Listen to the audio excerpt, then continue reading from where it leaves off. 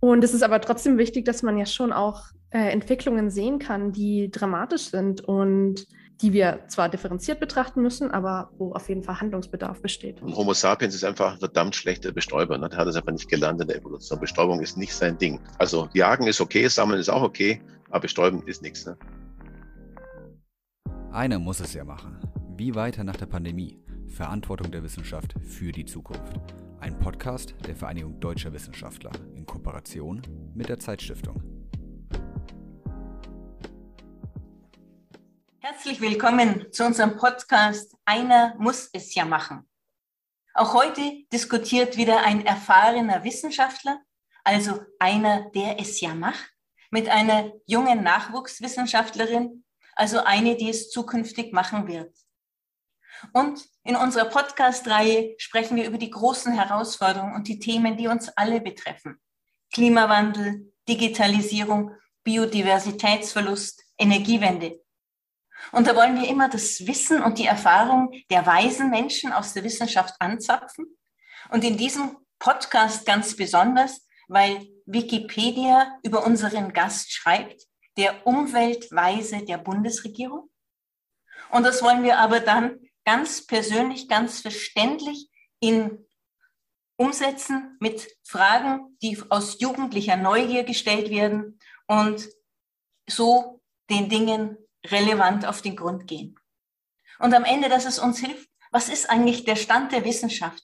Was muss man tun im Kontext einer verantwortlichen Wissenschaft und wie kann man sich auch selber einbringen? Ich bin Maria Reinisch, Geschäftsführerin der VDW, der Vereinigung Deutscher Wissenschaftler, die für VDW steht, nämlich für Verantwortung der Wissenschaft. Heute diskutieren wir ein ganz brisantes Thema, den Biodiversitätsverlust.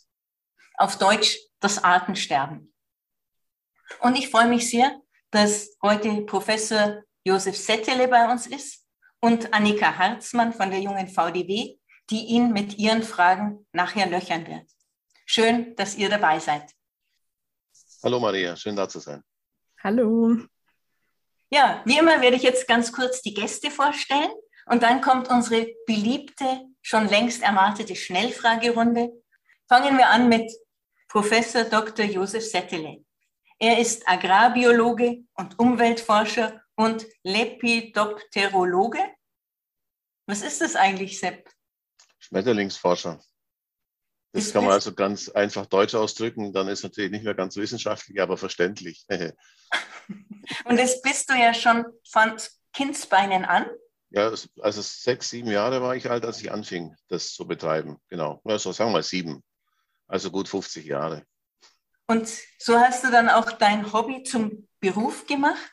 Jetzt heute bist du Leiter des Departments Naturschutzforschung am Helmholtz-Zentrum für Umweltforschung in Halle und forscht eigentlich auch weiterhin zu Schmetterlingen und vielen anderen Themen im Kontext von Kulturlandschaften, Biodiversität, öko sozial-ökologische Systeme. Ich meine, für mich bist du der Biodiversitätspapst. Wikipedia ist da etwas zurückhaltender als Umweltweiser der Bundesregierung. Aber du berätst nicht nur die Bundesregierung, sondern auch die EU und viele andere Institutionen weltweit. So beispielsweise als Co-Vorsitzender des Weltbiodiversitätsrats und bist da auch mitverantwortlich für den jüngsten Bericht zum ökologischen Zustand der Erde.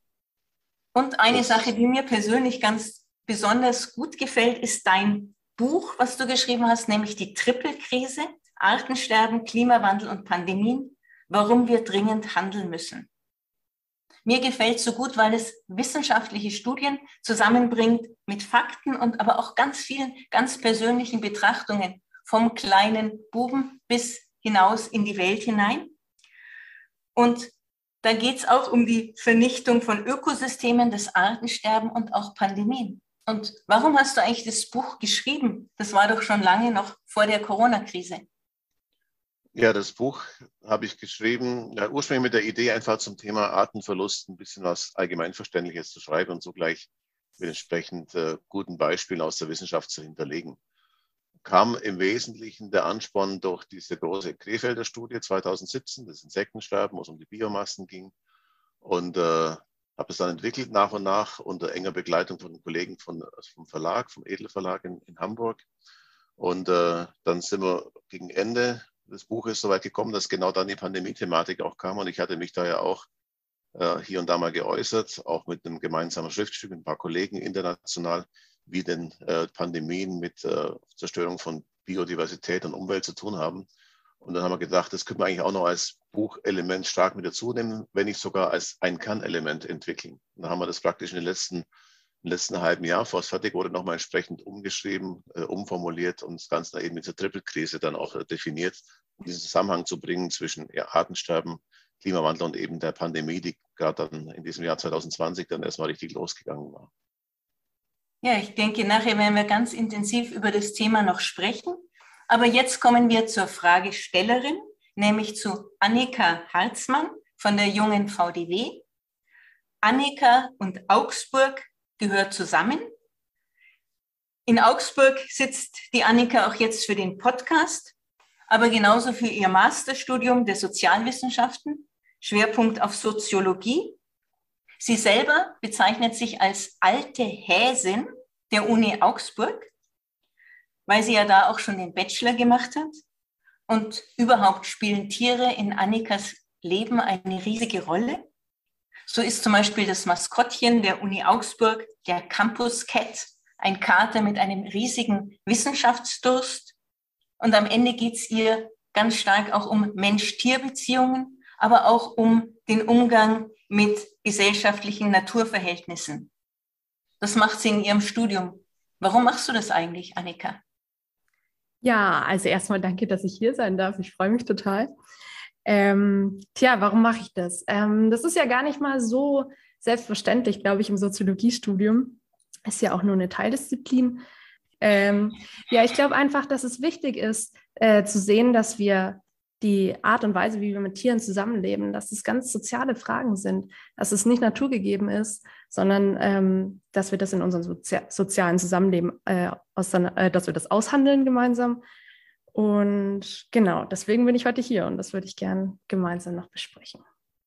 Ja, aber bevor wir das gemeinsam besprechen, kommt erst die harte Arbeit und die längst ersehnte Schnellfragerunde. Bei der Schnellfragerunde geht es immer darum, dass ich zwei Worte sagt und nicht ich schnell frage, sondern ihr schnell antworten müsst und euch für eines der Worte entscheiden müsst. Ja? Das heißt, wir machen mal ein Beispiel, Punkt oder Komma. Punkt. Punkt.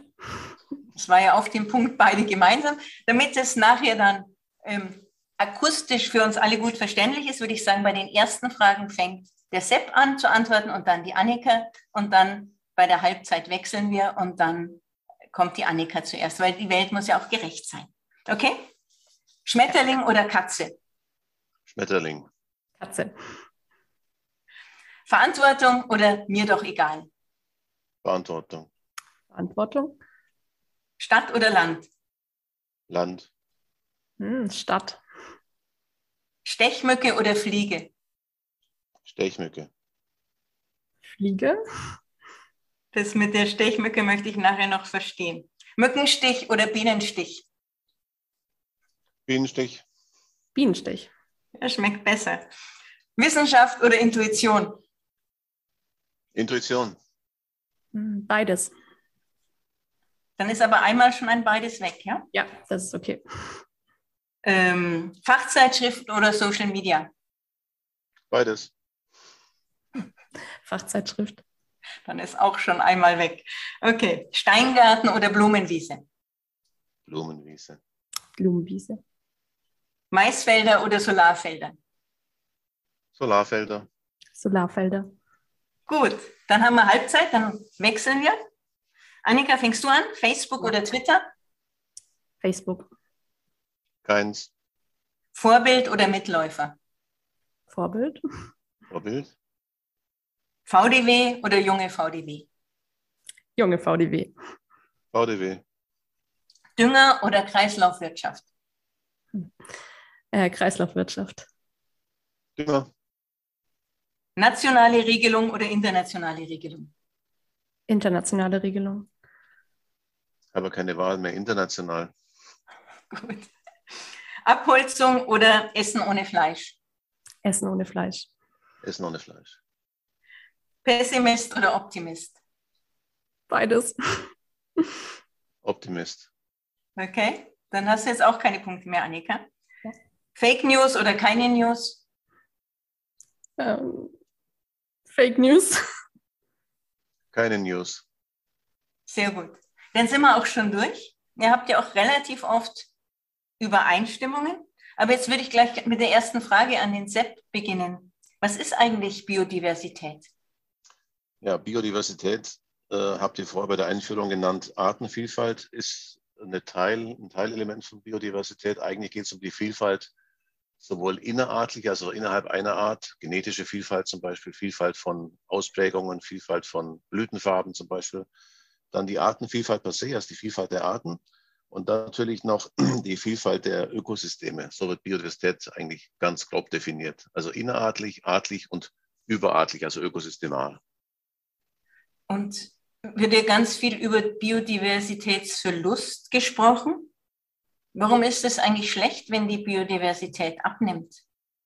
Also zunächst stellen wir nur den Verlust eigentlich erstmal fest. Ne? Und wir haben natürlich viele Systeme, die wir so entwickelt haben, dass sie zum Teil biodiversitätsarm sind. Unsere Agrarsysteme zum Beispiel, aber natürlich alles biodiversitätsbasierte Systeme sind. Äh, schlecht ist es natürlich insgesamt dadurch, dass wir die Systeme zum großen Teil aus der Balance bringen und dass wir uns um die zukünftigen Entwicklungschancen eigentlich auch äh, berauben, die wir haben, wenn wir mehr Vielfalt haben und mehr Auswahl auch haben für das, was wir als Menschen nutzen können, aber auch für das, was die Natur per se hervorgebracht hat. Also da ist auch noch eine Frage mit dabei, die in die Richtung zielt. Äh, ich habe auch eine ethische Verantwortung für das, was letztlich in der Evolution entstanden ist, um das zu bewahren. Das sind ganz verschiedene Aspekte. Auch, das, auch dieser Verlust, finde ich, ist einer, der einfach schlecht ist. Aber ist es dann wie soll man sagen, auch für den Mensch eine Gefahr, wenn die Biodiversität abnimmt? Also der Verlust von Artenvielfalt ist für den Menschen zumindest auch riskant, weil er im Wesentlichen als Teil des Ganzen ja zu sehen ist und äh, die ganzen Arten, die wir uns in der Umgebung haben, auch dafür sorgen, dass Systeme ausbalanciert funktionieren. Also nehmen wir als Beispiel landwirtschaftliche Systeme sind dann umso stabiler, umso, äh, umso mehr Arten sie beinhalten in aller Regel. Das heißt, wenn ich wenige Arten habe, habe ich häufig solche, die für uns ungünstig sind, Schädlinge zum Beispiel, die also dann irgendwie unser, unser Essen wegnagen, wegfressen, also äh, irgendwelche, was weiß ich, Blattläuse etc. Äh, habe ich eine höhere Vielfalt, habe ich meist eine bessere Pufferung dieser Systeme. Das heißt, ich habe weniger Extreme und weniger Risiken, zum Beispiel auch den Ertrag einzubüßen. Das heißt, eine hohe Vielfalt sorgt für ausbalancierte Verhältnisse und für langfristig stabilere in diesem Fall Erträge agrarischer Produktion. Das ist nur ein Beispiel aus dem Agrarbereich, aus der Agrarökologie. Aber da kann man sehr gut darstellen, dass hohe Vielfalt auch eine starke Stabilisierung darstellt. Meine, da könnt ihr ein Beispiel auch nennen, das können wir später auch rausschneiden, je nachdem. Äh, ein Beispiel aus meiner eigenen Arbeit. Ich habe ja früher viel zu Reis gearbeitet in Südostasien und äh, bewässerte Reisökosysteme, jenseits ist der Methan-Thematik, was auch ein spannendes Thema ist.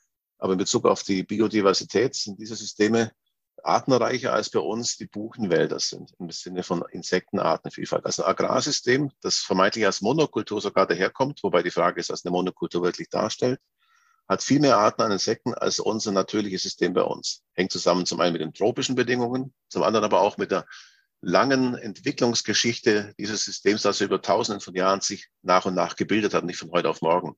Damit haben sich auch viele Arten angepasst.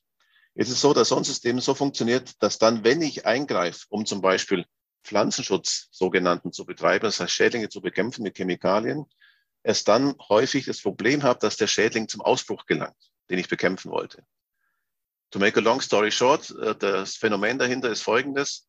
Ich äh, spritze erstmal alles tot und dann sind natürlich die, die erstmal auf Reis leben, auf dieser Kulturpflanze leben, die, die als erstes wieder, sagen wir sagen, wieder einwandern können oder auch zum Teil im Bestand verblieben sind, je nachdem, welche Arten das sind, und sich dann erstmal super ausbreiten können, weil keine Gegenspieler da sind. Die rücken wieder nach, zwar nach und nach, aber das dauert dann zu lange, als dass äh, der Ertrag für den Landwirt noch vorhanden wäre. Das heißt, sehr vereinfacht gesagt, wir haben Bereiche in Südostasien, da kenne ich es genau, Philippinen oder Vietnam, da sieht man genau da, wo gespritzt wurde, gegen ein Schädling hat genau dieser Schädling die Massenausbreitung gehabt und sich richtig breit gemacht. Also völlig kontraintuitiv. Und das hängt zusammen mit der Stabilität des Systems und mit der Vielfalt von Gegenspielern. Soweit der kurze Exkurs nach Südostasien. In dem, wo du ja sehr, sehr lange warst. Ich habe zwei Jahre also am Stück dort gelebt und habe dann noch fast jedes Jahr mehrere als Tage oder Wochen dazu gebracht und auch Projekte, Forschungsprojekte dort gemacht. Ja, genau. Wenn man das jetzt nochmal hier zurückbringt, auch auf die Landwirtschaft oder auf den persönlichen Garten, fängt eigentlich schon in meinem Garten die Biodiversität an oder erst beim Bauern, beim Landwirt oder noch größer, erst im Wald? Biodiversität fängt eigentlich an, sobald ich die Tür aufmache vielleicht sogar, wenn ich sie zu habe noch. Also selbst Zimmerpflanzen sind ja Teil der Biodiversität, wenn man so wollte. Und äh, wenn ich aber in den Garten gehe, auf alle Fälle bin ich ja mittendrin, das ist ja nur ein kleiner Ausschnitt aus unserer gesamten Landschaft. Und je nachdem, wo ich bin, ist es sogar ein Ausschnitt, der sehr viel Biodiversität haben kann. Sowohl solche, die vielleicht eher typisch ist für die Region und sehr vielfältig, oder auch solche, die woanders herkommt, also exotische Pflanzen. Auch Biodiversität, aber eben ganz anderer Aspekt, wo der Mensch durch seine Aktivitäten einfach Dinge halt ausbringt, die gar nicht von hier stammen oder hierher gehören. Aber es ist beides Biodiversität. Man kann einen Garten natürlich entsprechend gestalten, dass man das für die lokale Vielfalt günstig gestaltet oder eben eher so ein bisschen steril. Also Stichwort Buchsbaum, Zünsler und Co. wäre so ein Beispiel. Äh, dann habe ich äh, ganz spezielle Arten, die dann, wenn irgendjemand drauf frisst, sich auch ganz toll, sozusagen, befressen lassen. Ne? Also im Sinne von unästhetisch. Das Buchsbaum mit Zünslern ist einfach optisch auch nicht so der Bringer. Ne? Also ist eigentlich schwierig. Äh, oder aber ich habe eben Arten, wo gar nichts drauf lebt, die halt dann sehr schön und knackig grün da sind, aber für die Vielfalt vor Ort eigentlich nichts bringen. Weil sie nicht blühen oder weil sie nicht äh, andere Natur anziehen. Ja, ich meine, sie bringen natürlich immer noch was, äh, weil jede Pflanze ist besser als äh, ein Steingarten oder also ein Betongarten natürlich, weil er immerhin noch Wurzeln hat, weil er Stoffwechsel betreibt, weil er klima, klimatisch aktiv ist, Kohlenstoff fixiert und so weiter. Von daher ist es immer noch besser als so einen Garten gar nicht zu haben natürlich. Ne? Im Sinne von Stoffwechsel, im Sinne von diesen Leistungen, die wir von der Natur entnehmen, in Bezug zum Beispiel auf Klima. Aber Leistungen in Bezug auf äh, die Artenvielfalt ist da nicht allzu viel zu erwarten. Annika, magst du mit deinen Fragen? Ja, sehr gerne. Einsteigen. Ja, ähm, wir haben uns jetzt ganz schön großen Fragen zugewendet und ich mag jetzt das ein bisschen kleiner machen viel kleiner eigentlich. Ähm, ich würde gerne über die Insekten sprechen, mit denen Sie sich ja am meisten beschäftigt haben, vor allem über Schmetterlinge. Ähm, auf dem Cover Ihres Buches zum Beispiel, was erschienen, äh, was zuletzt erschienen ist, ist der große Feuerfalter abgebildet. Ähm, und Sie schreiben auch, dass, Sie, dass der Ihnen besonders am Herzen liegt. Vielleicht können Sie uns erstmal erzählen, warum Sie den so mögen. Was ist, was ist denn mit diesem hübschen Orangenfalter? Was hat es mit dem auf sich? Also die erste Frage, die erste Antwort ist schon äh, gegeben, der besonders schöne, hübsche Falter. Also ich finde den Falter einfach schön. Das ist einfach ein schöner, knallroter Schmetterling. Es gibt ja nicht viele Schmetterlinge oder Arten überhaupt, die knallrot sind. Ist zwar sehr klein, aber wenn man das mal darauf achtet, sieht man das sofort. Das ist eine ganz farbige, äh, so rote, kräftige Färbung. Und hat auf der Unterseite sowas, sowas hellblaues. Wenn er dann fliegt, ist es so ein Blinken zwischen Rot und Hellblau. Das muss man üben, das, das zu sehen. Aber sobald man das einmal gesehen hat, erkennt man das Tier praktisch als kleiner Punkt der Landschaft sofort als Art wieder. Äh, das ist ein, ein Grund. Der Hauptgrund ist eigentlich äh, erstmal, dass die Art sehr lang als sehr selten galt, auch nach wie vor einigermaßen selten ist und daher auch eine Art ist der, der äh, Fauna-Flora-Habitat-Richtlinie, also im Prinzip europäisch geschützt, eine der wenigen Arten, die explizit in diesem, äh, soll man sagen, Annex erwähnt sind, dass sie besonders zu schützen sind. Für mich persönlich war das eine Entdeckung äh, äh dieses, dieser Art eher zufällig. Ich habe als Zivildienstleistender war ich Hausmeister. Mhm. Und äh, Hausmeister in einem Museum, Naturkundemuseum, muss man so sagen. Mhm. Und im Sommer war da jetzt irgendwie, das war so ein bisschen langweilig. Da habe ich meinen Chef gefragt, ob ich ein bisschen ins Gelände gehen darf. Ne? Da bin ich erst, dann, das war in der Pfalz, Rheinland-Pfalz, Bad Dürkheim in der Ecke da, Ludwigshafen, Mannheim, so ganz grob. Und äh, habe mir ausgesucht, äh, eine Schmetterlingsart zu kartieren, diesen Ameisenbläuling, kommen wir nachher nochmal dazu. Den habe ich früher schon mal bearbeitet, als es um die Ausdehnung und den Ausbau vom Flughafen Stuttgart ging, also Anfang der 1980er Jahre, schon ein paar Wochen her.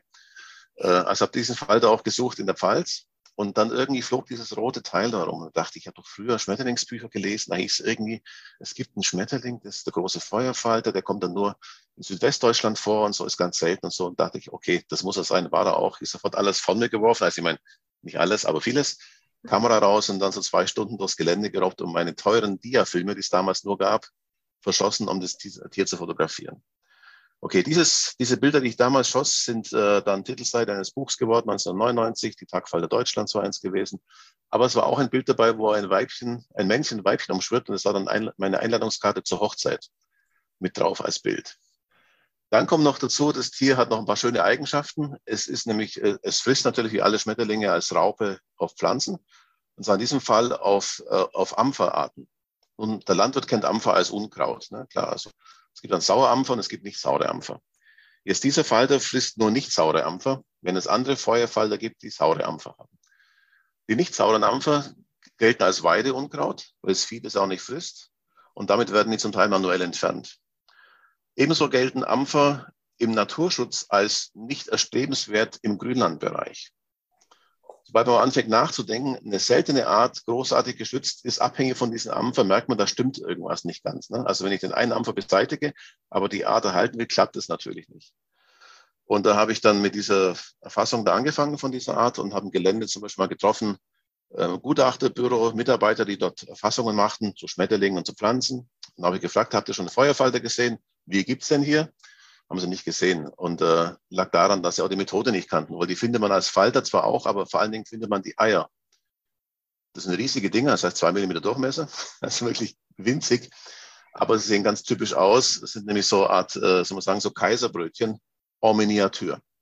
Wenn man weiß, wie die aussehen und dann noch weiß, wo man suchen muss, nämlich auf den Ampferpflanzen, kann man dann, wenn die Art vorkommt, normalerweise innerhalb von einer Viertelstunde Nachweis machen. Also 15 Minuten braucht man maximal. Jetzt hatte ich die Kollegen da getroffen im Gelände, im Gelände. Haben sie nicht gesehen? Das, das Tier kennen sie nicht. Ich sage, kleinen Moment, geben Sie mir fünf Minuten. Ich brauchte zwei Blätter, um den Nachweis zu machen. Und sie haben mir vorher erklärt, warum Ampfer schlecht ist. Dann gesagt, okay, also hier FFH-Anhangsart hochgeschützt, kommt hier vor, Südwestdeutschland, sonst kaum in Deutschland vor, vorkommt.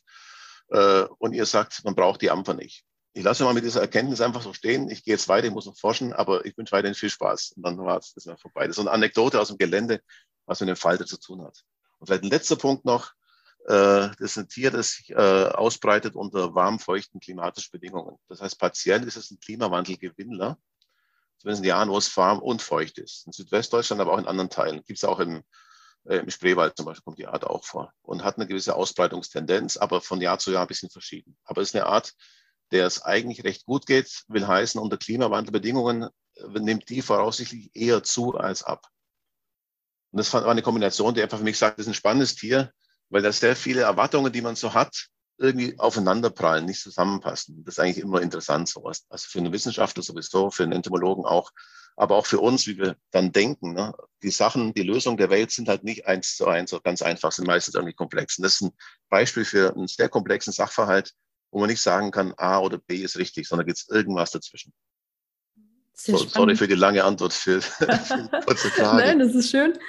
Ähm, ja, aber damit sind wir auch mitten am Thema, ähm, denn viele Schmetterlinge können mit dem Klimawandel zum Beispiel eben nicht umgehen und viele andere Tiere. Und damit wäre auch meine Frage, ähm, vielleicht können Sie uns ein bisschen erklären, äh, am Beispiel der Schmetterlinge, warum es viele Insekten immer schwerer haben. Also nehmen wir das, die Bedingungen erstmal in Mitteleuropa als Basis, ne, geografisch, äh, weil das ja ganz verschieden ist, ob wir uns über tropische Regenwälder unterhalten oder über Mitteleuropa, sprich über unsere Kulturlandschaften. Da wir ja doch in sehr stark von Menschen geprägten Landschaften leben, gilt für ganz Mitteleuropa eigentlich letztlich auch, auch für Teile Asiens natürlich, haben wir dort eben Organismen, Arten, die an diese Nutzungssysteme auch angepasst sind. Historisch gewachsene Systeme, die sich langsam entwickelt hatten, und äh, wo es auch dazu kam, dass eben sich Arten anpassen an die Systeme. Die Vielfalt von Insekten ist in Mitteleuropa vor allen Dingen auffällig im Bereich von Offenlandschaften, vor allen Dingen im Grünland, also Wiesen und Weiden. Klassische Nutzungssysteme natürlich. Und da hat sie meisten Arten in den Bereichen, die extensiv genutzt sind. Also zum Teil genutzt, aber nicht eben intensiv, nicht mit hohen Tierdichten, nicht mit hohen Maatfrequenzen. So eine klassische Heuwiese kennt man auch von den Pflanzen her, hat sehr viel Blüten, wo es viele Pflanzen gibt, viele Blütenpflanzen auch gibt, so entsprechend viele Insekten und meist auch entsprechend viele Schmetterlinge. Das heißt, im Lauf der Jahrhunderte oder sogar ja, Jahrhunderte, sagen wir mal, bis zu Jahrtausenden, äh, hat sich eine ganz eigene Zusammensetzung von Flora und Fauna in unseren Landschaften herausgebildet, die auch anpassungsfähig ist, die aber eben auch ihre Zeit braucht. Und äh, von daher haben wir eine Flora und Fauna, die zum nicht geringen Teil wir der Landwirtschaft verdanken erstmal. Das heißt, Landwirtschaft ist ein Grund für die Vielfalt, genauso wie jetzt eben in neuerer Zeit Landwirtschaft ein Grund ist für den Rückgang dieser Arten durch entsprechende Veränderungen, entsprechende Intensivierungen, entsprechende Homogenisierung der Landschaft etc. Einsatz Pestizide ist ein Beispiel, wo es sehr, soll man sagen, offensichtlich ist, dass es nicht ganz günstig ist für die Insekten, weil es sind ja bei Insektizid ist ja klar, das Ziel ist ja, Insekten zu töten, sonst hätten die ja den Namen auch nicht. Und wenn sie es nicht machen würden, wäre es ja auch eine verfehlte Entwicklung im Sinne von der landwirtschaftlichen Idee, Idee dahinter. Also wir haben im Prinzip äh, die Landnutzung als Treiber im positiven, historisch wie im negativen, aktuellen Sinne dieser Artenvielfalt. Die kommen dann zusammen mit vielen anderen Faktoren. Eben Klimawandel ist äh, der aktuell vielleicht der wichtigste und auch zunehmende, der es natürlich dann noch schwieriger macht, äh, in Kombination mit der Landnutzung, dass Arten dort überleben können. Erstmal der Klimawandel für sich betrachtet hat zum einen die Auswirkung, dass sich die, äh, die Verbreitung von Pflanzen ändern, dass die Phänologie sich verändert, also Blühzeitpunkte zum Beispiel Blühzeitpunkte sind wichtig für viele Bestäuber, Schmetterlinge zum Teil auch, aber auch vor allem Bienen, Wildbienen sind da wichtig.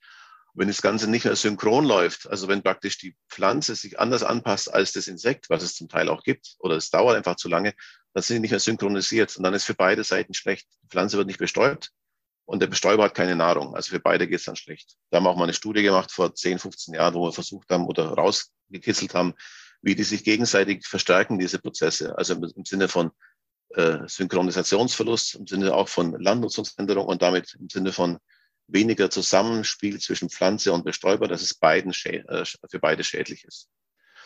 Also Klimawandel hat diesen Effekt dieser Entkoppelung, sowohl jetzt in der, in der, soll man sagen, auf der lokalen Fläche über die Zeit, aber auch die Zeit der, der, des Blühens, aber auch über lange Sicht oder über größere Räume hinweg die Möglichkeiten, wie Pflanzen sich und Tiere sich praktisch anpassen könnten an den Klimawandel, indem sie mitwandern mit dem Klimawandel. Und wenn ich bestimmte Entfernungen annehme, die der Klimawandel jedes Jahr verursacht, ich habe jetzt keine Zahlen mehr im Kopf, sind also mehrere Kilometer pro Jahr, was das Klima sich verschiebt, äh, mhm. dann sind selbst sehr mobile Tiere wie Vögel und natürlich auch Schmetterlinge nicht in der Lage, dem zu folgen, weil man immer das Ganze rechnen muss. Nicht nur, man kann dahin fliegen als, als Vogel, klar kann man sich gut vorstellen. Aber es geht auch darum, ob ich dann einen Zyklus vollenden kann, die nächste Generation erzeugen kann und so weiter. Und da ist der Klimawandel momentan bei allen Organismengruppen schneller als die Tiere, äh, als, als die Pflanzen, die hinterher wandern und auch die Tiere. Das heißt, es entkoppelt sich mehr und mehr. Das heißt, ich bleibe zurück, wird vom warmen Ende, jetzt bei uns in Mitteleuropa vom Süden her sozusagen gegart und komme nach Norden nicht schnell genug nach voran, um dort entsprechend noch äh, mich fortpflanzen zu können.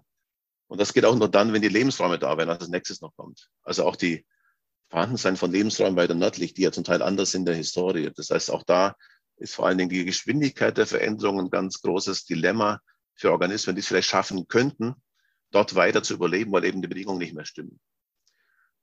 Ich habe Entkopplungen auch von Fraßpflanze und von Falter zum Beispiel. Wir haben so eine Analyse mal gemacht, wie sich durch Klimawandel die Verbreitungsgebiete ändern, und zwar in verschiedenen Richtungen.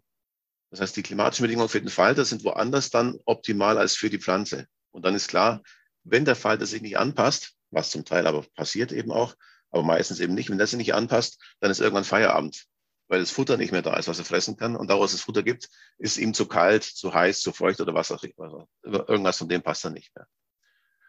So, das wären so ein paar Aspekte, die jetzt damit reinkommen. Es gibt viele andere, aber ich denke, Landnutzung ist bei uns ganz wesentlich und Klimawandel und vor allem die Kombination von beiden sind, glaube ich, schon zwei ganz wichtige Faktoren, die jetzt bei den Insekten wesentlich sind. Mhm. Und woran kann man das denn eigentlich so sehen? Gibt es da Indikatoren? Ich stelle mir das schwierig vor bei so kleinen Tieren. Ja, also da sind natürlich äh, Tagfalter ganz gut, weil die immer noch im Vergleich zu anderen Insekten erstmal nicht ganz so klein sind. Zweitens nicht ganz so schwierig in der Bestimmung. Also Bienen sind unendlich viel schwieriger zu bestimmen. Und drittens natürlich äh, aufgrund ihrer, soll man sagen, des ästhetischen Elements, was viele Menschen einfach klasse finden, Schmetterling, gibt es dazu noch relativ viele Daten. Das heißt, äh, Tagfalter zum Beispiel sind Indikatoren, die herangezogen werden können für Bedingungen im Offenland, also speziell im Grünlandbereich. Und wir haben da auch äh, als europäische Initiative, da gibt es eine Stiftung, die heißt Butterfly Conservation Europe, die gibt es seit, seit 15 Jahren jetzt, haben wir ein Monitoring äh, etabliert über ganz Europa hinweg. Also sagen wir mittlerweile sind es vielleicht 20 EU-Staaten, es fehlen noch ein paar, aber da sind wir gerade dabei. Da haben wir dann praktisch Daten aus, aus dem ganzen Kontinent standardisiert erfasst über Citizen Scientists, also Ehrenamtler, die vor allem mitmachen, etwa 5000 Leute bislang über ganz Europa.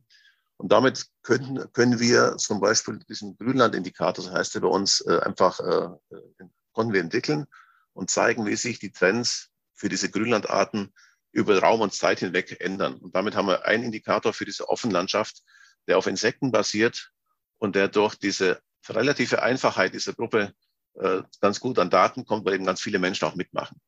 Und wir werden in ein paar Jahren es über ganz Europa haben. Also es fehlen noch ein paar Länder im Osten, da sind wir gerade dabei. Aber ich glaube, in drei, vier Jahren haben wir alle EU-Staaten unter dem gleichen äh, methodischen Vorgehen vereinigt. Also ist ein bisschen Prozess, dauert noch ein bisschen, aber sieht gut aus.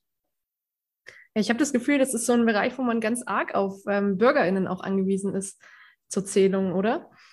Ja, also klar, also Zählungen äh, logischerweise sind ja immer personalintensiv. Mhm. Äh, Zählungen jetzt bei ganz schwierigen Gruppen sind nämlich dann einfach limitiert durch die wenigen Experten, die es gibt. Also Superspezialisten. Experte ist und Expertin ist eigentlich jeder, der sich irgendwo reinfuchst. Egal was er formal ist, ob der Lokführer war, Straßenbahnfahrer oder was weiß ich, irgendwie Heizer im Heizwerk. Äh, wir haben auch alles dabei bei uns, also bei den Ehrenamtlern. Alles Leute, die sich dann irgendwie auch für Natur interessiert und sich dann irgendwo reingefuchst haben. In dem Fall bei Schmetterling geht es, wie gesagt, gut. Wir haben in Deutschland nur, nur 180 Arten mit den Alpinen gerechnet und außerhalb der Alpen vielleicht noch 140, 150. Das mhm. kriegt man hin. Vor allen Dingen hat jeder für sich vor der Haustür vielleicht 40 oder 50 Arten, wenn es artenreich ist. Und man kann sich vorstellen, 40 Arten, die hat man irgendwann drauf. Also ist man sehr bald Experte und damit kann man auch sehr gut arbeiten. Und dann hat man eben die Leute mit dabei. Das ist bei anderen Gruppen schwierig. Also Fliegen, da gibt es für uns 7000 Fliegenarten in Deutschland. Die sehen erstmal alle gleich aus. Ne? Stubenfliege und Co., da muss man die Haare zählen, da wird es schwieriger. Da brauche ich vielleicht andere Methoden auch. Das heißt, Bürgerwissenschaftler sind und Wissenschaftlerinnen sind für Gruppen, die nicht ganz so komplex sind, ideal, um viele Daten zu erheben, aber auch ideal, um für die Menschen den Zugang zur Natur zu schaffen. Einige bleiben ja richtig hängen, das sind dann angefixt und machen dann mehr in der Richtung und werden dann vielleicht Experten zu irgendwelchen ganz abgefahrenen Gruppen, was weiß ich, keine Ahnung, äh, Staubläuse oder Springschwänze, also Zeug, was ganz, ganz winzig und klein ist. Also ein paar machen das, nicht viele. Die meisten bleiben dann doch bei ihren Leisten, also sprich bei, bei den Schmetterlingen, bei den Tagfaltern. Andere machen vielleicht nur Nachtfalter. Auch spannende Gruppe, Nachtfalter, Motten, Vulgo Motte, aber Motte klingt irgendwie schlecht, denkt man an Kleidermotte und an, an Mehlmotte und sowas, was jede gute WG hat. Ne? So diese Mehlmotten kennt ja jeder aus der ja. Wohngemeinschaft. Ich glaube, jeder zweite hat es, und das war die Dörrobstmotte, Plodia, äh, wie heißt nochmal, Plodia interpunctella ist diese weit verbreitete Art, nur so am Rande. Okay, total hübsches Tier, wenn man das mal genau anguckt. Wenn man sich die Muse nimmt und eine Falte anguckt, so total schön mit so fast goldmetallic Elementen, also unter Binokular. Okay, aber die meisten Motten sind eben keine Vorratsschädlinge, sondern einfach in der freien Natur. Und wir haben in Deutschland etwa 3000 Arten, was die wenigsten Leute wissen. 3000 Nachtfalterarten. Und wenn man die noch ein bisschen mit bearbeitet, dann gibt man noch viel mehr raus, auch über Lebensräume, die es nicht ganz nur das Offenland betreffen. Also so Waldstrukturen, Waldränder, wo es viel Sträucher gibt, sowas, da gibt es auch sehr viele Arten drauf. Auch der Prozessionsspinner, der vorher erwähnte, ist natürlich ein Beispiel dafür. Und übrigens der Prozessionsspinner, da habe ich ihn vorher erwähnt als gehighlightetes äh, Objekt oder als spannendes Objekt, sage ich mal. Äh, der ist letztlich, war früher mal eine rote Listeart. Mhm. Vor, ich habe den noch von mir in meinem eigenen Feldführer, den ich mal verwendet habe vor 30 Jahren, unter rote Liste 3 markiert gehabt. Ne? Aber durch die Veränderungen im klimatischen und Landnutzungsbedingungen und forstlicher Art hat sich ja ganz stark ausgebreitet. Das heißt, auch eine gefährdete Art kann plötzlich das Gegenteil von gefährdet sein, sondern gefährdend, nämlich für uns, für unsere Gesundheit zum Beispiel. Das gibt es auch mal als Beispiel. Von daher ist es auch ein spannendes Phänomen. Eine Art, die wir jetzt gerne wieder los hätten, die wir vor 30 Jahren versuchten zu schützen, damit es uns nicht verloren geht. Also es ist auch eine sehr spannende Dynamik, die man da verfolgen kann. Gut, aber viele andere Nachtfalterarten sind natürlich auch extrem selten und gefährdet. Da kann man auch darüber vieles machen. Und wir entwickeln jetzt gerade eine Methode, auch über Europa hinweg, so in vier, fünf Ländern, wo wir versuchen, mit so ganz kleinen Mini-Lichtfallen, das sind praktisch Plastikeimer mit einer LED-Lampe, die man rausbringen kann, die Landwirte mit uns betreiben sollen. In Holland funktioniert das schon. Wir machen es für Deutschland. Im nächsten Jahr fangen wir damit an. Die setzt man raus, hat die Funzel oben drauf und dann fliegen da Motten zum Licht. Das kennt man ja, Motten zum Licht, das ist eine bekannte Redewendung. Und die setzen sich dahin, da machen so als Eierschachteln rein und dann ver verstecken die sich da drin. Und dann kann man am nächsten Morgen, wer auch immer, Lieschen Müller, der Landwirt, wer immer das machen möchte, rangehen, ein Foto machen und wir können mit KI mittlerweile über 90 Prozent der Arten über die Fotos einfach automatisch bestimmen. Spannend. Das heißt, wir versuchen damit auch weiterzukommen, dass eben zum Beispiel Landwirte so drei so Eimer aus, ausstellen, eins im, Bauerngarten, wenn es den gibt, einen am Rand der Feldführung und eins in der Mitte von der Intensivlandwirtschaftsfläche. Wenn wir das über Deutschland verteilt machen, ist so die Idee dabei, das ist ein neues Projekt, wie gesagt, kriegen wir über die Gruppe noch wesentlich mehr Informationen. Also total spannend, macht total viel Spaß. Und äh, die paar Leute, die bislang mitmachten, also auch die Landwirte, die wir schon haben, sind begeistert davon. Und da kann man sehr einfach mitarbeiten, ist nicht viel Arbeit. Man macht ein Foto, schickt es hin, dann kriegt später eine Artenliste, die zumindest einigermaßen vollständig ist. Also schon eine geniale Angelegenheit. Das war jetzt eine, wieder eine lange Antwort zu einer kurzen Frage. ja, nee, aber es klingt, klingt sehr spannend. Jetzt habe ich auch Lust drauf. Ähm, ja, was mich eigentlich interessieren würde, so, warum spielen Insekten eigentlich so eine wichtige Rolle für unsere Ökosysteme? Also warum reden wir da jetzt überhaupt drüber? Also die Rolle, die sie spielen, ist natürlich, man ist, ist einfach erstmal, es gibt ganz viele Arten, das heißt, sie haben ganz viele Nischen, die sie besetzen. Äh, und sie sind auch sehr abundant, sehr häufig. Also das Stichwort Biomasse kommt damit rein. Das heißt, einfach indem sie so häufig da sind und so viele Arten haben, müssen sie sehr viele Funktionen wahrnehmen. Das ist erstmal eine Frage der Logik. Ne? Wenn man das anguckt, okay, es gibt ganz viel. Viel mehr, als es äh, Wirbeltiere gibt, auch viel mehr, als es Pflanzenarten gibt. Und äh, das heißt letztlich, äh, dann guckt man sich genau an, warum ist dem so? Und dann haben die eben alle ihre ganz spezielle Funktion im System. Und einige wichtige Funktionen sind gleich die, ja, ich habe es vorher schon mal genannt, als Beispiel die Funktion, die man hat im Sinne von Gegenspielern von anderen Insekten. Das heißt, wir haben praktisch, es ist toll, dass wir Insekten haben, aber verdammt normal sind blöderweise auch welche dabei, die mögen wir gar nicht so gern, weil die unser Essen wegfressen zum Beispiel oder Schaden verursachen. Das heißt, erstmal haben wir einen sogenannten Disservice durch die Biodiversität, nämlich die, die uns konkurrieren, für uns Konkurrenten sind.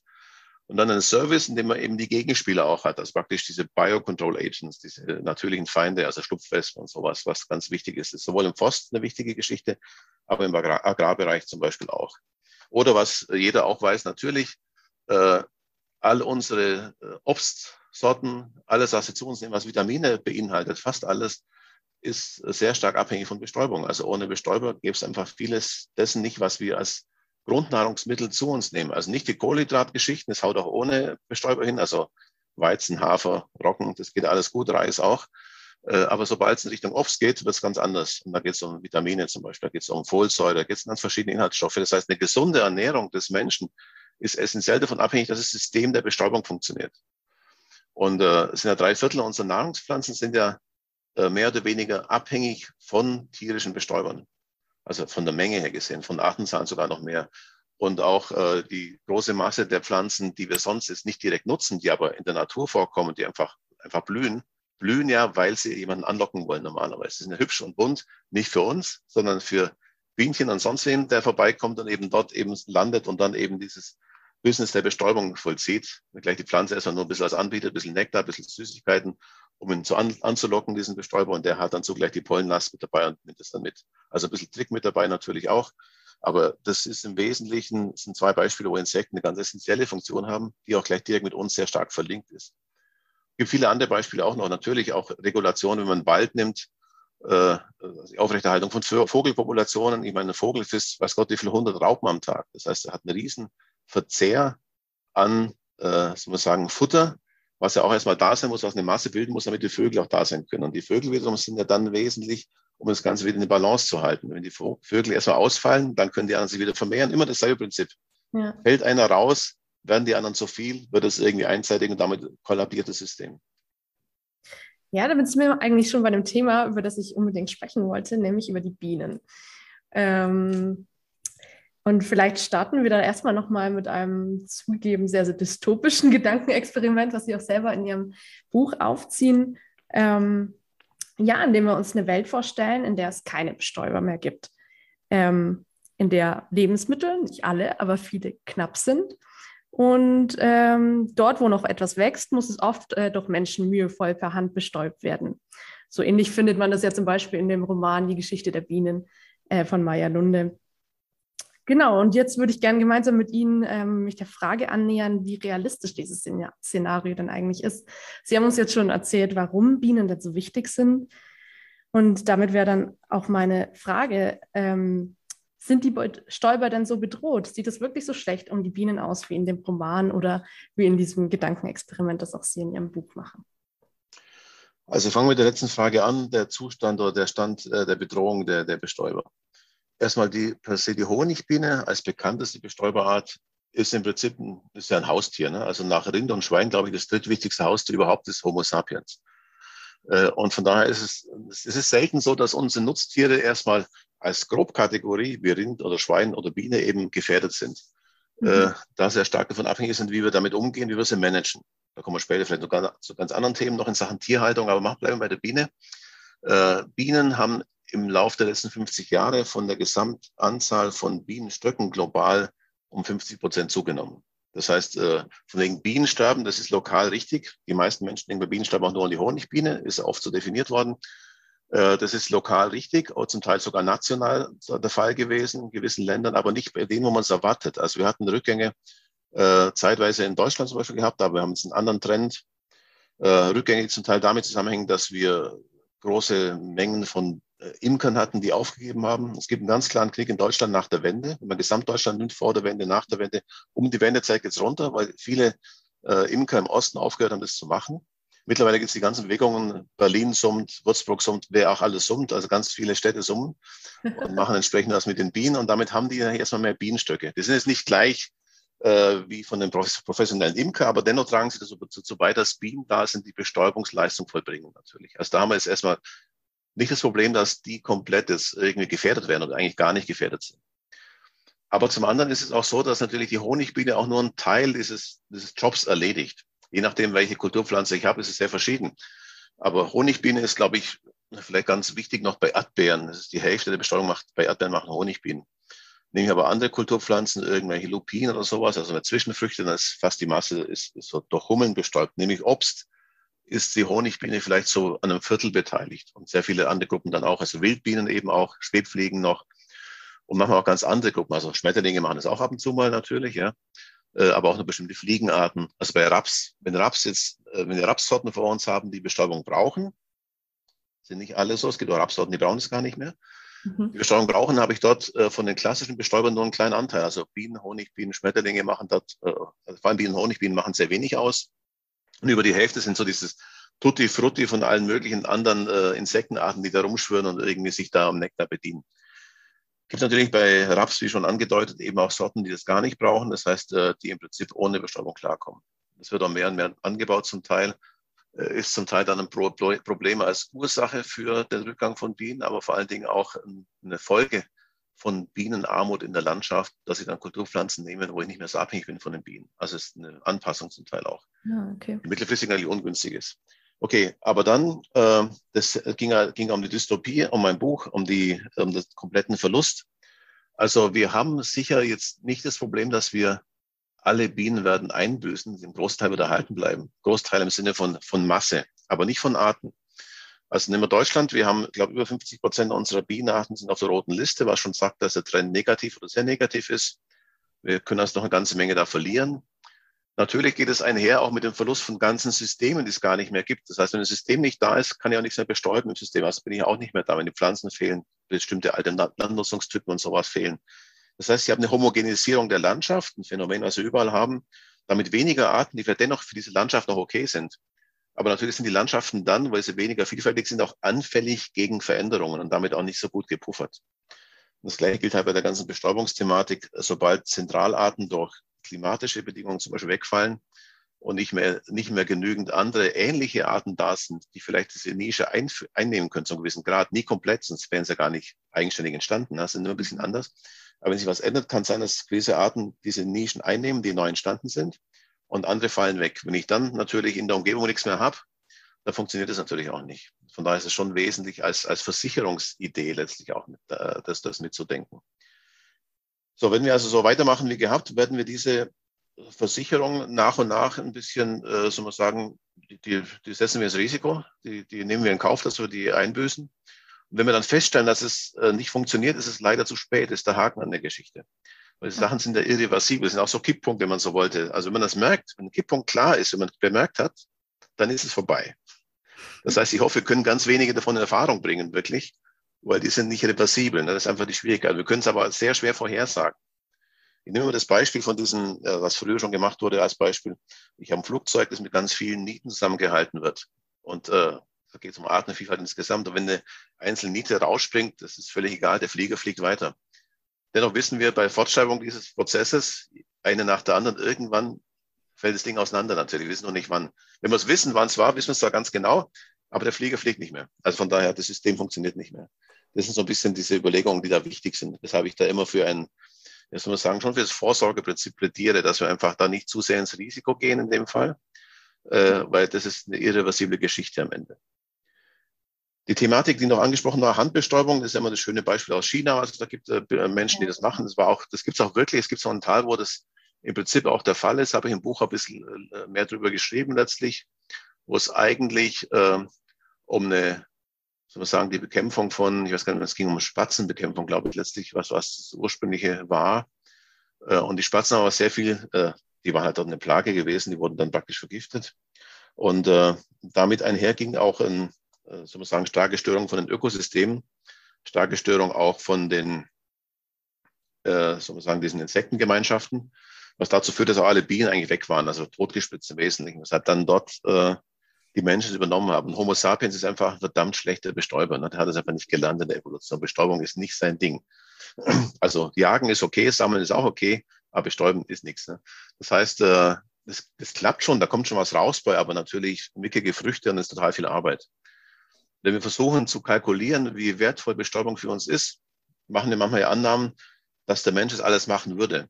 Und dann muss man die Arbeitskosten rechnen. Das heißt, Obst wäre bei uns unendlich teuer, weil, weil unsere Arbeitskosten sehr hoch sind. In China ein bisschen billiger, in anderen Billiglohnländern noch billiger. Ja. Dabei natürlich auch, das, ne, auch finanzierbar zum Teil, für uns zumindest dann wieder, vor Ort vielleicht nicht. Das heißt, so zahlen wir 600 Milliarden Euro pro Jahr an Wert für Bestäubung, was zum Teil gerechnet wurde, ist auch eine Kalkulation, wo mit reinkommt, wenn die Bestäuber fast nicht mehr da sind und wir sie ersetzen müssten. Ist aber eine durchaus spannende Größenordnung, um sich Gedanken zu machen.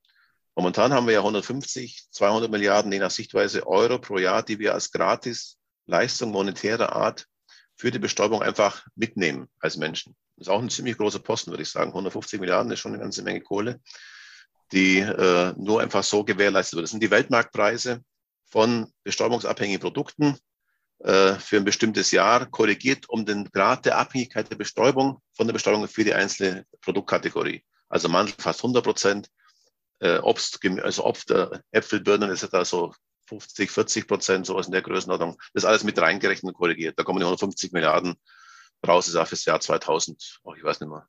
Schon ein paar Wochen her. Also irgendein 2000er Jahr war es gewesen. Okay, also von daher, äh, dass das ganze Flöten geht, glaube ich nicht.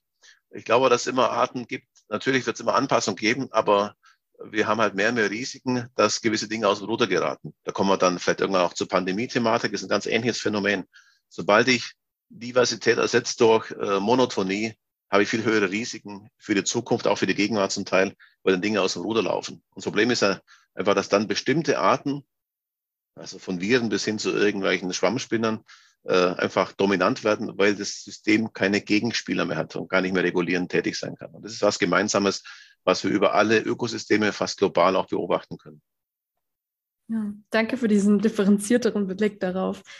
Ähm, jetzt haben das aber ja schon viele Menschen erkannt. Wir haben ja auch in Bayern dieses Volksbegehren Rettet die Bienen gehabt.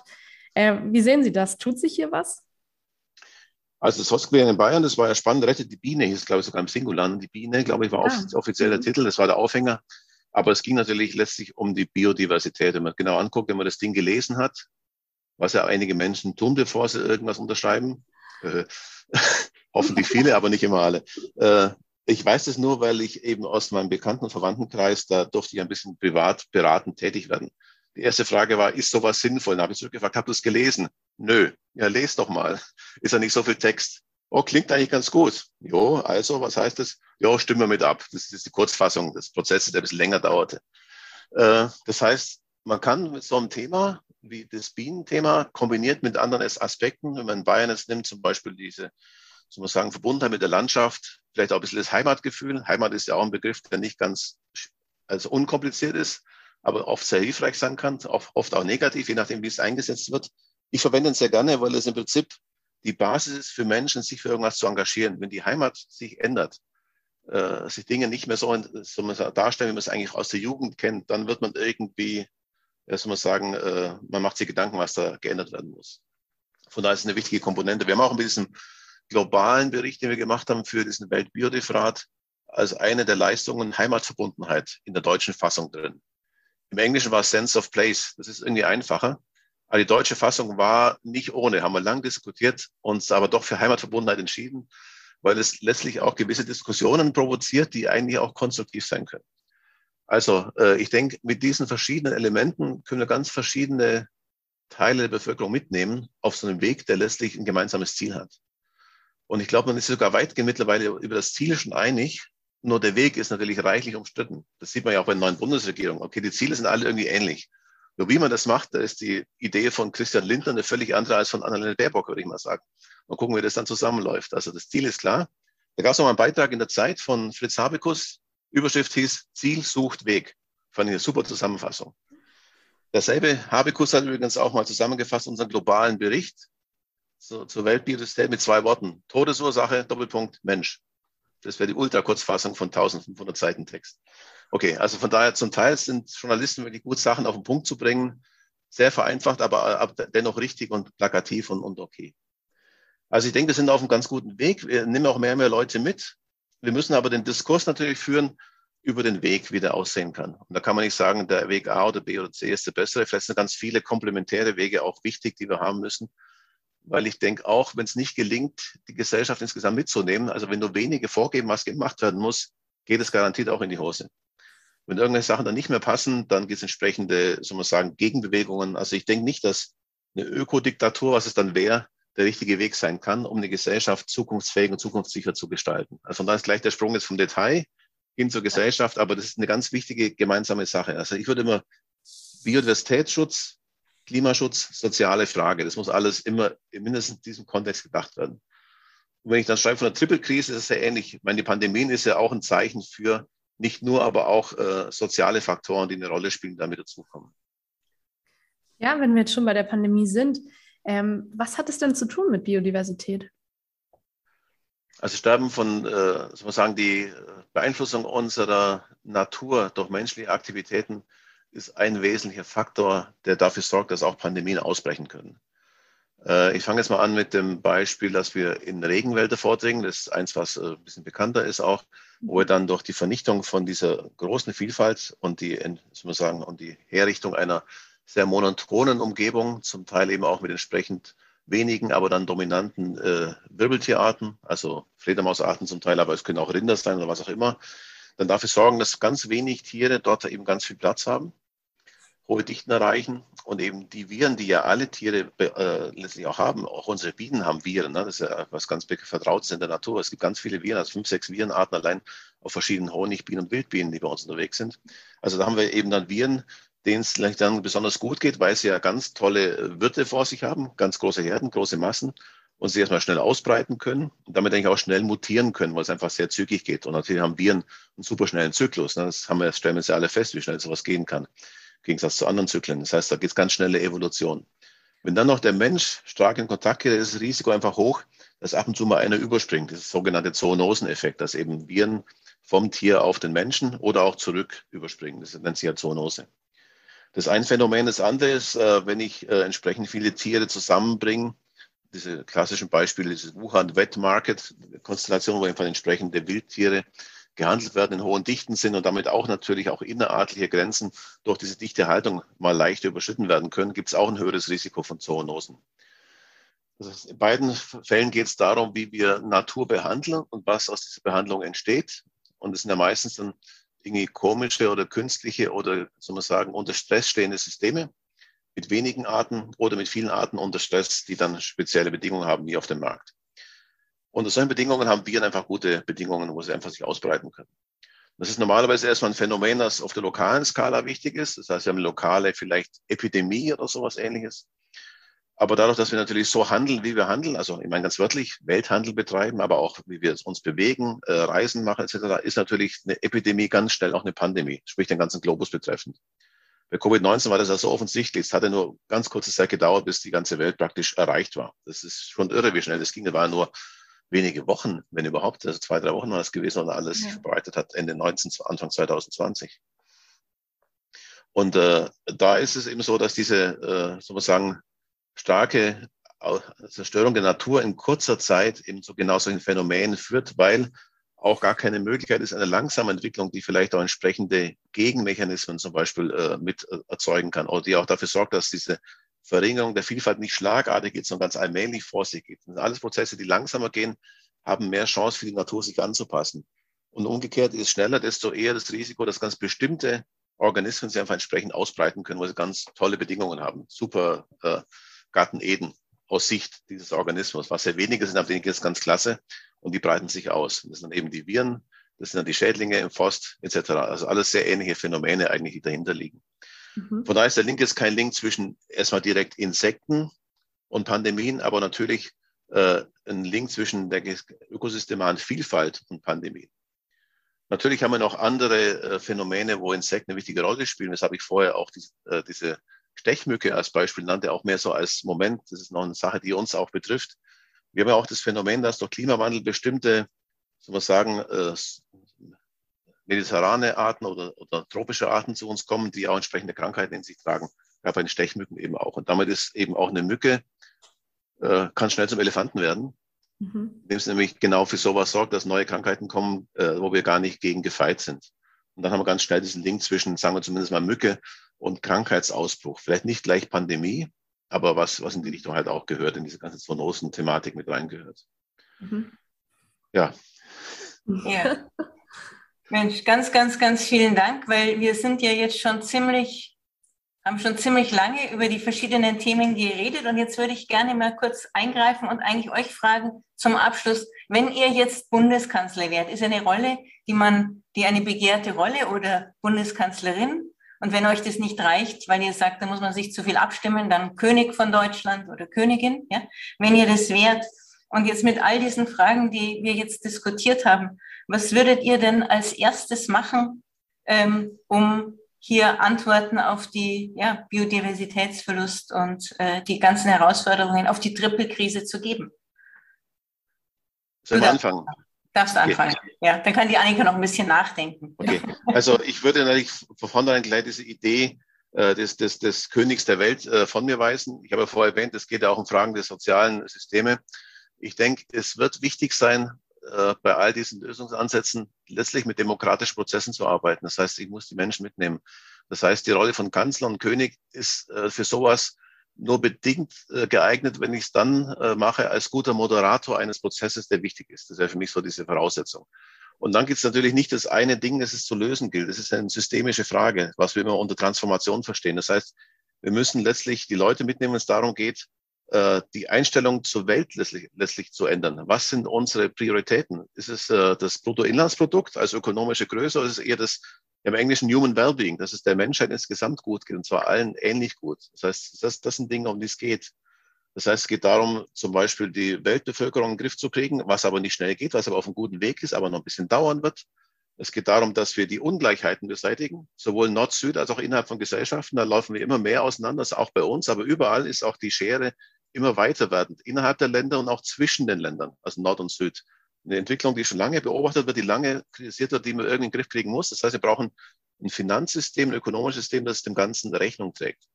Äh, das heißt, von daher brauchen wir auch natürlich Prozesse, die auf der globalen Skala funktionieren und dennoch, äh, die dazu führen, dass lokal Sachen umgesetzt werden. Das klingt erstmal ganz trivial und ganz allgemein, ist auch schwer zu erreichen. Aber es geht nur, wenn wir die Leute mitnehmen, weil die müssen es auch umsetzen. Alles andere funktioniert nicht.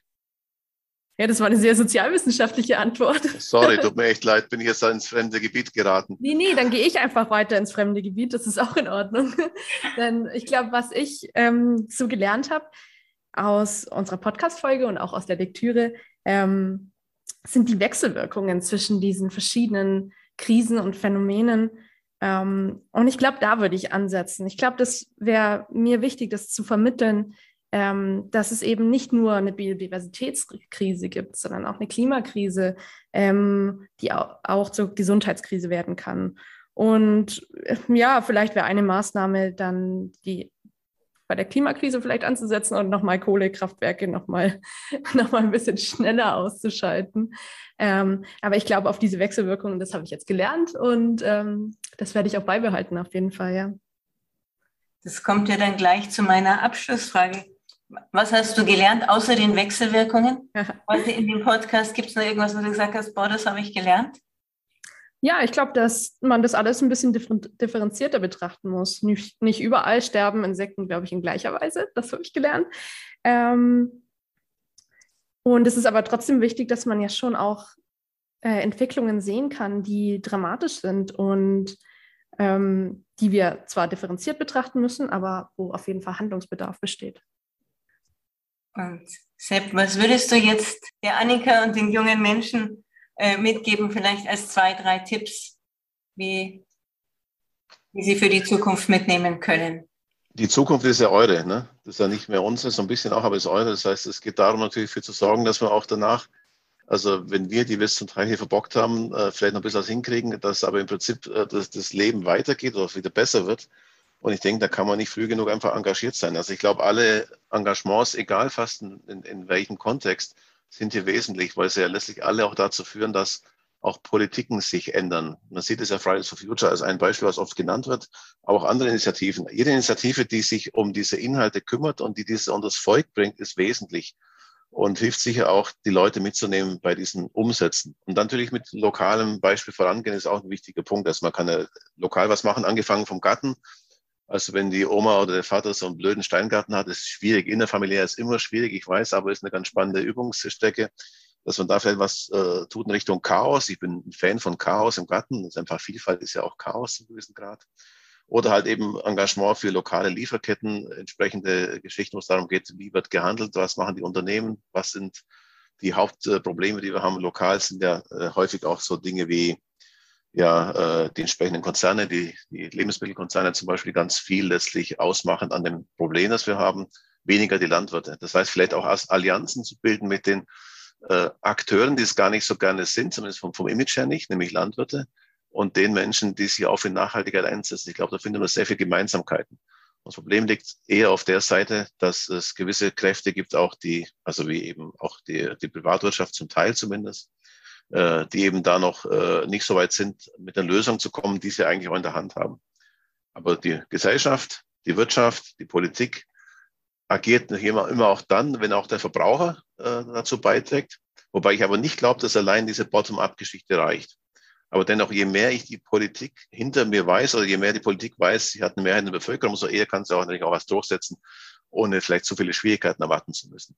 Wenn gleich die Aufgabe von Politik nicht ist, äh, widerstandsfreie Sachen zu machen, natürlich. Aber je mehr Konsens äh, hergestellt wird, umso eher ist sowas halt zu erreichen. Also ich bin immer für beides, Top-Down, Bottom-up müssen wir kombinieren und sich einfach auch im eigenen Umfeld entsprechend äh, engagieren natürlich auch.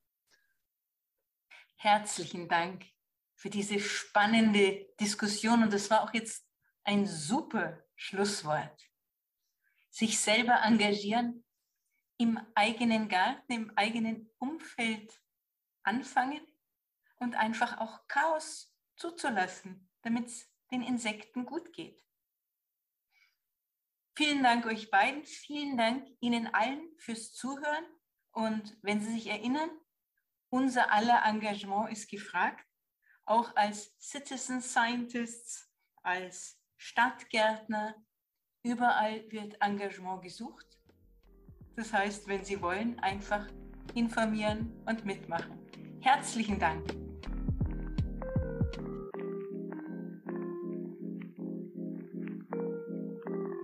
Du machst dir Gedanken zu den großen Fragen unserer Zeit und würdest gerne mehr erfahren über die Vereinigung Deutscher Wissenschaftler? Dann schau bei uns vorbei unter www.vdw-ev.de. Hier findest du alle wichtigen Informationen über uns, unsere Projekte und natürlich zur jungen VDW. Das war Einer muss es ja machen.